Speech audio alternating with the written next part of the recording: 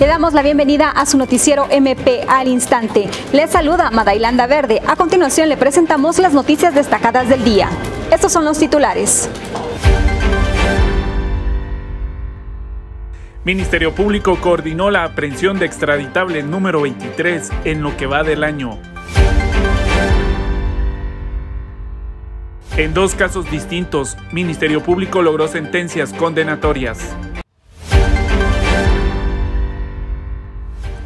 El Ministerio Público, por medio de la Fiscalía de Delitos de Narcoactividad, coordinó con la Policía Nacional Civil la aprehensión con fines de extradición hacia los Estados Unidos de América de Wilfrido Benamar Luargas de la Fuente, alias Peluche. Fue detenido en Ocos, San Marcos, ya que es requerido para comparecer a juicio en la Corte Distrital de los Estados Unidos para el Distrito Este de Texas por delitos relacionados al narcotráfico. La investigación le identificó como miembro de una organización dedicada al narcotráfico desde aproximadamente 2010 hasta junio de 2021, siendo responsable de dirigir, gestionar y facilitar algunas de las actividades de tráfico de droga de la organización en Guatemala y otros lugares.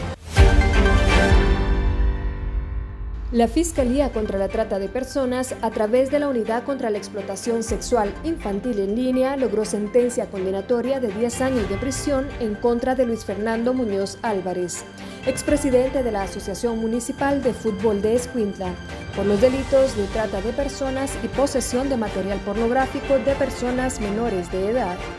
También se le impuso una multa de 300 mil quetzales y se ordenó su ingreso al Registro Nacional de Agresores Sexuales. En otro caso, la Fiscalía contra el Delito de Femicidio obtuvo sentencia condenatoria en contra de Gervin Augusto Contreras Herrera, quien estará en prisión 28 años por delitos de femicidio y maltrato contra personas menores de edad. Jorge Adalberto Hernández fue condenado a 33 años por femicidio y encubrimiento propio y finalmente 9 años de prisión contra Brian José García Vázquez por encubrimiento propio.